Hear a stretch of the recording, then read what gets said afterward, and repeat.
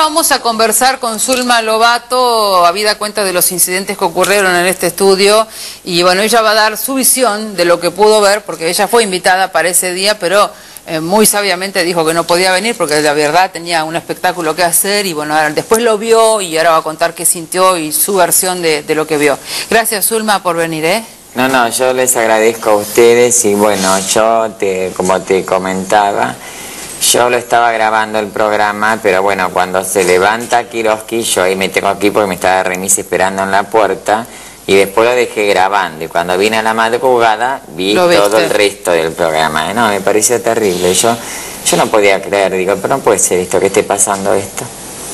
Porque fue una guerra campal, una cosa que volaban las cosas por el aire, se insulteaban, Ahora, vos que estuviste ahí, eh, ¿qué pasa que hay tanto, este ah, tanto odio entre ellos? ¿Qué es lo que pasa? Es muy violento. Lo que tiene Torri que es un tipo muy, muy violento y muy mal educado, porque le falta respeto a todo el mundo. Tal es así que también con una de las chicas se quiso pasar y, y bueno, y esta chica lo mandó, ¿sabes a dónde? ¿no? ¿Con qué chica? Con la profe.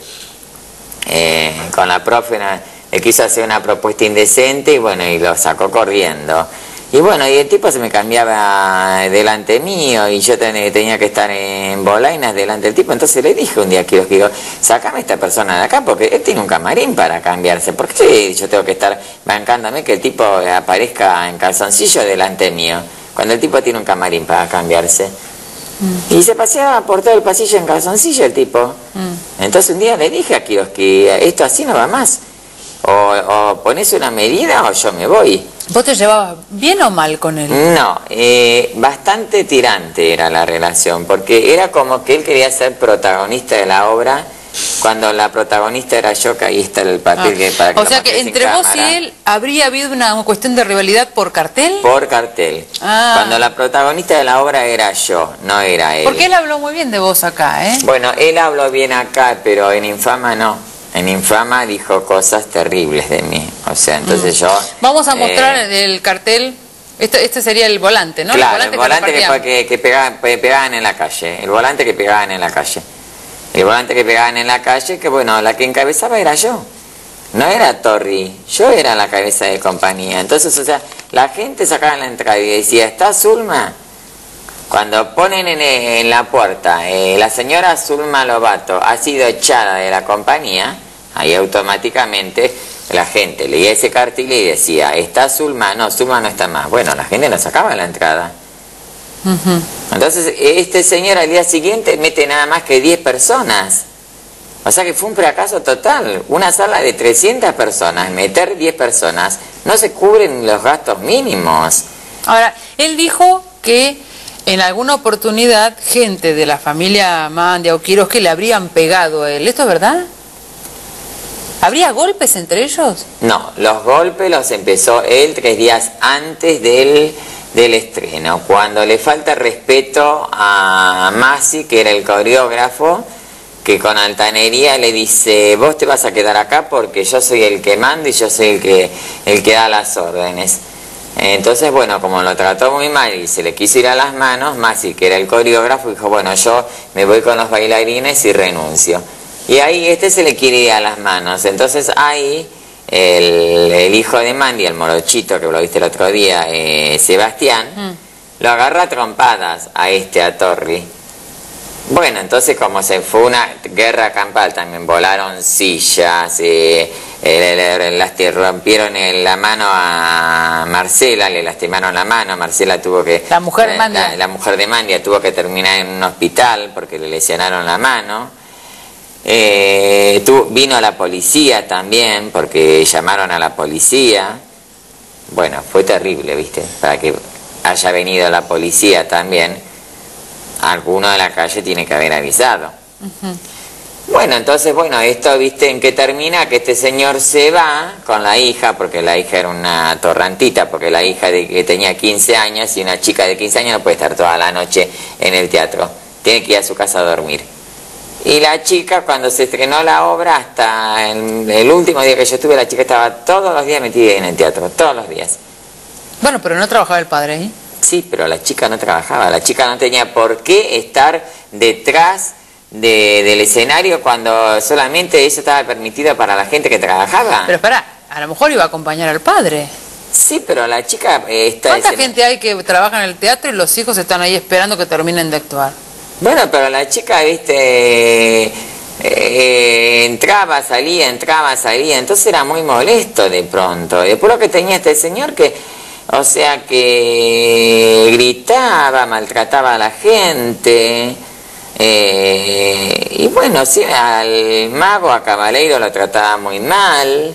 Y bueno, yo no sé cómo de pronto este señor dejó que lo siguiera maltratando cuando yo le dije, no, mira, Torbi, conmigo no te metas porque yo soy la que encabeza la compañía y termino cerrando yo porque la que yo soy la cabeza de compañía y la que voy a cerrar el espectáculo voy a ser yo. Entonces ahí no lo dejé más que cerrar el espectáculo. Y ahí fue cuando fue la bronca de él, que quiso que me echaran, que me terminaron echando, porque Kiroski pensó que él convocaba gente, que él iba a meter más gente que yo.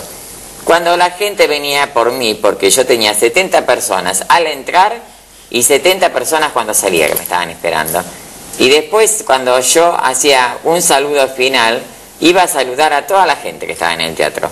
Y la gente se sacaba fotos conmigo y, y, me pedían autógrafos, cosa que no lo hacían con nadie la compañía. Esta es la razón según tu visión por la cual Kiroski en un momento no te quería, después pasó a quererte, ahora te quieren contratar, te pidió la casa, ahora no te la pide, ahora te quieren comprar la casa, ¿cómo por eso, yo lo vi hablando muy bien el otro día. Por eso te digo, ahora vos pasaste a ser Heidi, ¿viste? Yo no sé, yo Kiroski la verdad que no te entiendo, porque yo el otro día te vi hablando muy bien, lo mismo que Amandia, no los entiendo, porque cuando hablaron tantas barbaridades de mí, y ahora cambian completamente el panorama, no los entiendo, sinceramente no los entiendo porque es muy difícil de...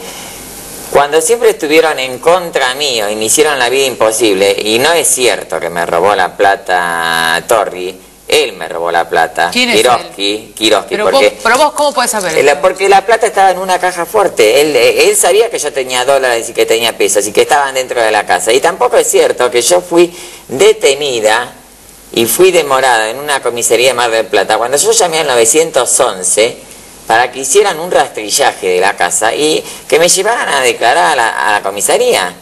Que como eh, estos, el primer patrullero que va, no me quieren llevar, yo tengo una pequeña discusión con una mujer, que una mujer policía y el, y el que estaba en el patrullero, se van. Yo vuelvo a llamar al 911, viene un patrullero, me lleva, yo hago la declaración testimonial de lo que había pasado, bueno, y después viene la policía científica. Y no es cierto que yo no la dejé revisar. Le dije, mira, está todo revuelto, que revisen, pero no sé qué van a encontrar, porque la plata ya no está. Bueno, pero vos, ¿por qué sospechás que fue él? Porque ellos sabían que yo tenía dólares y pesos. Aparte, no. ¿Pero una caja fuerte no tiene número? No tiene. No, porque no era con número, era con llave. ¿Y la llave quién la tenía? La llave la tenía yo, pero la llave estaba, estaba ahí al lado de la caja fuerte. Pará, vos tenías la caja fuerte. o sea, eh, eh, eh, es una inocente. ¿Vos tenías la plata dentro de una caja fuerte y la llave arriba de la caja fuerte? No, no, no, estaba en un, en un monedero, pero bueno, Qué casualidad que el monedero estaba, estaba en el mismo bolso donde estaba la caja fuerte. Y cuando a mí ellos ¿Pero me quién echan puso de la el monedero en la caja fuerte? ¿Vos? Claro, pero no, en el bolso, en el bolso. Porque era una cajita chiquita de esas de supermercado. ¿Esas que están empotradas? No, no, esas cajitas de supermercado que viste que hace, sacan la plata del día y van caja por caja. Bueno, una ¿Pero qué sentido tiene tener la plata en una caja fuerte si la llave está ahí nomás? Porque yo ese día me echan, que es un 26 de enero, me echan de la casa a las 5 de la tarde y cuando yo estaba metiendo las cosas en la combi, que era una combi, que era de puerta a puerta, mientras yo estaba cargando las cosas, todas las cosas estaban ahí en la casa. Y puede haber sido en ese momento. Como yo después cuando llego a mi casa el otro día, voy a ver la caja fuerte y estaba completamente vacía con los sobres nada más. Me habían dejado los sobres. Aparte es verdad que me robaron 37 mil pesos. No, yo te creo, pero también... Porque está la denuncia hecha en la comisaría de Mar del Plata, en la comisaría en la 43 y en la fiscalía, en la fiscalía de acá. ¿Cuántas personas intervinieron en la mudanza? ¿Qué te hace eh, sospechar a vos que fue él el que se llevó la plata?